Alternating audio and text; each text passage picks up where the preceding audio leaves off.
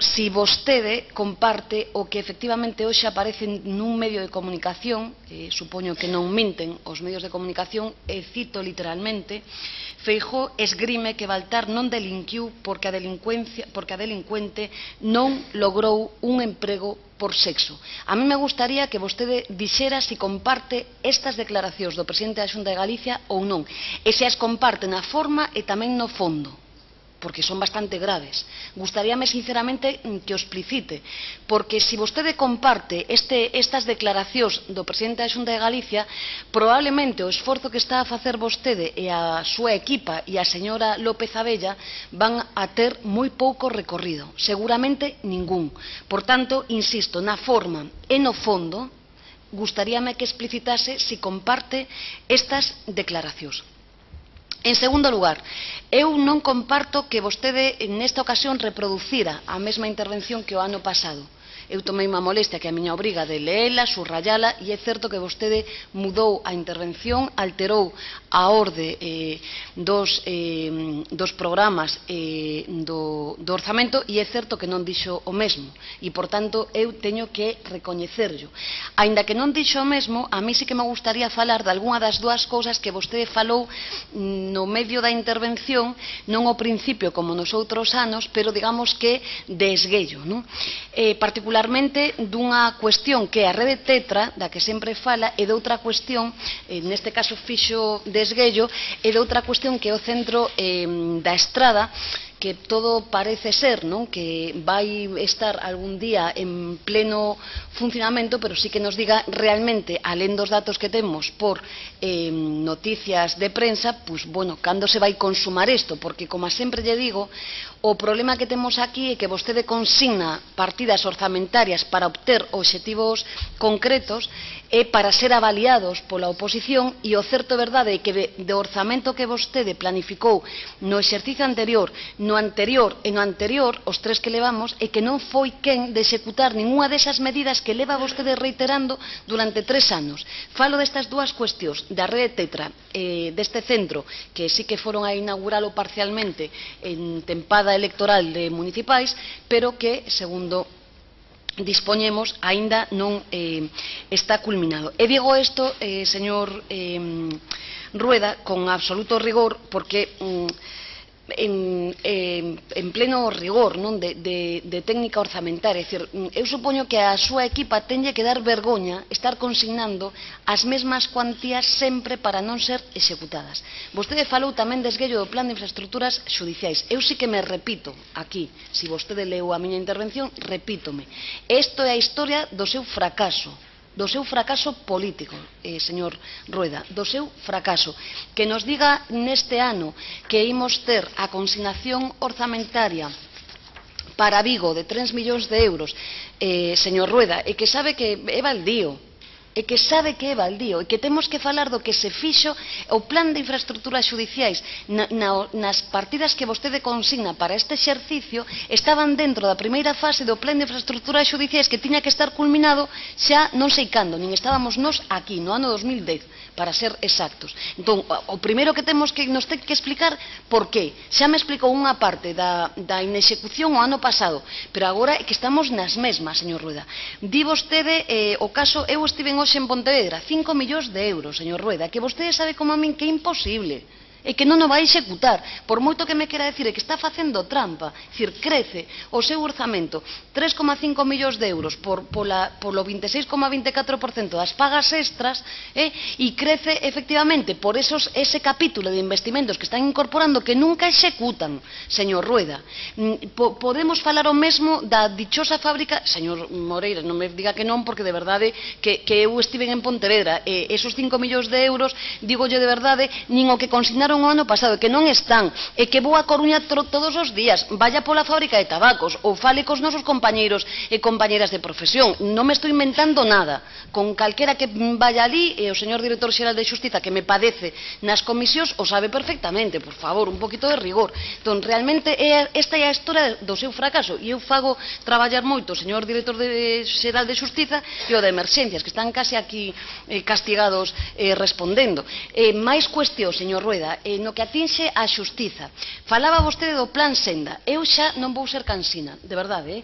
Plan senda. Mm, só a última páxina do plan senda, señor Rueda, por favor, ou calquera que lea a, as páxinas de todo o Estado hoxe, de calquera xornal, o que vostede quera. Escoitos profesionais, e que falar de modernización da Administración de Xustiza, eu que son a da matraca co expediente judicial, eh, señor Rueda, non nos fagamos trampas. Non é o mesmo a presentación telemáticas de demandas que nin asimos ver, nin asimos ver neste ano co expediente judicial que só última páxina o plan Senda. Bueno, primeiro que o plan Senda desa montonada de millóns de euros tiña que estar xa o expediente judicial niquelado, como decía outro, pero niquelado, eh? eh sí, señor Rueda, sí, señor Rueda, teño aquí e non vou ter tempo pa, para para, para falar desto, pero de verdade, é, eh, o que vostedes eh, se comprometen nese, ne, na valoración da execución do plan Senda, eh, podemos lelo literalmente, expediente electrónico, judicial electrónico completo, señor Rueda. E volvo a decir o mesmo, repítome, eu son analfabeta tecnolóxica, pero falo con enxeñeiros e con enxeñeiras e dinme que se é posible no Sergas, se é posible na Administración de Xustiza, se é posible para os casos de preferentes que temos neste país, tamén é posible para todo. A cuestión é ter vontade para facelo. E non hai, señor Rueda. Fala do expurgo. A mí xa me contestou o señor director xeral de Xustiza. E, en fin, padece a miña o meu traballo aquí e agradezolle o que fai. Consignados 5.000 euros señor Rueda. Eu sei o que se fixo no expurgo, me contestaronme tamén por escrito. Que expurgar, señor Rueda? Expurgar é recoller toneladas de documentacións como se fixo en Ferrol, leválas e xa está. Si eso é expurgar, doulle a razón as toneladas que vostede citou son certas. Expurgar, segundo indican as normas, é outra cousa. E eso, señor Rueda, pola información que a mí me consta, e supoño, acabo de estar cos profesionais que non me minten, non se está a facer na globalidade dos casos. O orzamento que vostede consigna, eh, no que eu coñezo, señor Rueda, se me están mentindo e son profesionais, olle, eu rectifico, e eh, acabouse. E dígolle tamén que é certo que se están triturando e levando a documentación, dicir que en, en cuestións de espazo é certo que se está a facer, pero non o que, o que é o, o expurgo, que é outra cousa. E, de todas maneiras, señor Rueda, 5.000 euros, vostede convendrá comigo que con 5.000 euros, mm, en fin, non chegamos, non sei a donde. Por tanto, mm, na xustiza, que mm, creo que, que unha parte, quizáis da súa consellería, a igualdade, a cooperación, a xustiza e as emerxencias, non? eh, sin faltar o respeto á administración local ni a avaliación e mellora mm, administrativa, todo moi moi relevante, pero me ten que permitir que isto é unha parte sustancial do Estado de Dereito e eu creo que temos que mellorar. mellorar. Tamén recoñezo que, que hai avances, claro que sí. Agora ben, eu insisto, o mellor veño de outra cultura e que eu prefiro que vostede nos diga aquí, mire, vou, vou, vou tentar executar dos millóns de euros na fábrica de tabacos, e non adornar o orzamento, porque eh, quen queda mal é vostede. A min comprenderá que mm, mm sírveme de mm, bastante pouco ou dame exactamente igual, pero realmente mm, vai ser nada de nada, que o que sí que si vola, que volva a inaugurar vostede as obras de mm, Ferrol e demais, de verdade que isto sí queda un pouco como de reparo. É certo que amplían a partida de obras menores para os, eh, os xulgados e creemos que é positivo. Claro que hoy, porque as incidencias diarias eh, efectivamente exixen de actuacións deste tipo. Por tanto, nesta, no que atinxe a, a xustiza, dende logo, mm, temos mm, como, digamos, como certas discrepancias. Tamén algunhas cuestións, por ir eh, rapidamente. Eu sí reitero que dixen eh, na intervención do ano pasado, decir, Fundación Galicia Europa. Eu sinto e eh, tamén relacións institucionais, e que sinto, sobre todo, porque leín os obxectivos. E claro, mm, os obxectivos, a oposición é que, de verdade, sufrimos moito, eh? e que non se nos garante, nin, nin garanten os dereitos fundamentais. Si, por, si fora por esa garantía os obxectivos que nos di a memoria orzamentaria de eh, as relacións ou garantir os cumplimentos, xa non digo do que pedimos mm, polo artigo artigo 9. Digo o que di ao propio objetivo, é dicir, garantir que se cumplan os, eh, as resolucións, os acordos eh, aprobados no hemiciclo desta Cámara. Señor Rueda, de verdade, é que mm, podemos falar das resolucións que se aprobaron deste grupo o ano pasado eh, no debate do Estado da Nación, que, bueno, eh, con rigor son eh, ninguna. Non? Mais cuestións. Eh, no, vostede fala, eh, e eu creo que, que sería importante, non?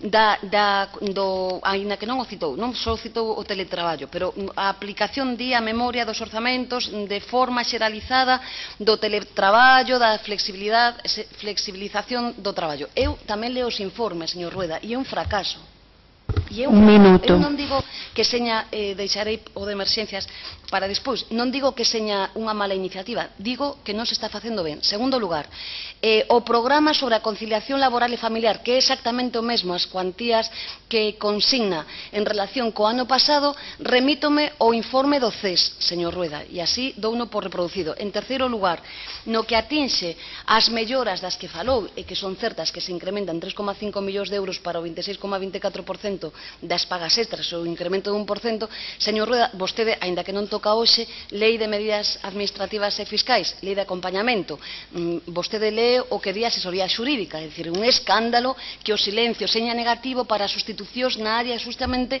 da Administración de Justiza, e eu pídolle que o reparen, porque é escandaloso eh, esta cuestión. Mm, falo, aínda que non me dá tempo, eh, agora destas cuestións. Entón, Eh, deixarei para despois, eh, se me dá tempo, nos cinco minutos que me restan, a cuestión das, eh, das emerxencias e a cuestión de, eh, de igualdade. En síntesis, señor Rueda, eh, digamos que a globalidade, agás algunhas partidas que, que mm, destacan son o mesmo. E eu sí que me gustaría, e vou non ler despois, entre os obxectivos da igualdade, non? É, dicir, é que ás veces empregamos mm, palabras grosas, non? Vostedes falan, eh, cito literalmente, pois de pretender, eh, leo literalmente, ves todo o cambio, está claro que está fluindo, pretenden un cambio estructural e forman parte dunha estrategia a longo prazo, pero con obxectivos anuais para cadar, bueno, eh, na globalidade, señor Rueda, é dicir, a pretender a igualdade, mm, insisto, a señora López Abella, eh, que o ten difícil cando ao mesmo tempo vostedes eh, permiten leis que segregan nos colexos por sexo, cando vostedes están dirixindo recursos públicos públicos para os centros mm, eh, mm, que de maneira directa, ademais eh, o fan así, segregan por sexos. Cando temos problemas Remate na acción directa. Eh, remato xa e deixo esta parte para a segunda intervención. Nada máis e moitas gracias. Gracias, señora Díaz. Polo Grupo Socialista,